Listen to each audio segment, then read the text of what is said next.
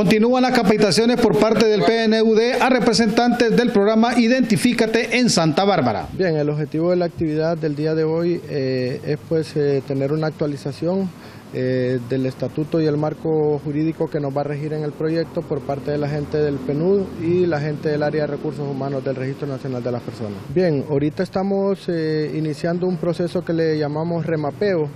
eh, estamos visitando las comunidades, eh, el cuales tienen un número de población eh, estimado poco grande, que no han sido cotidianamente centros de votación,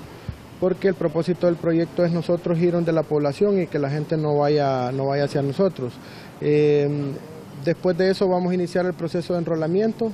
Todavía no tenemos eh, eh, una fecha preestablecida ya, ya que hay situaciones que están fuera de, eh, de las manos de nosotros y del proyecto,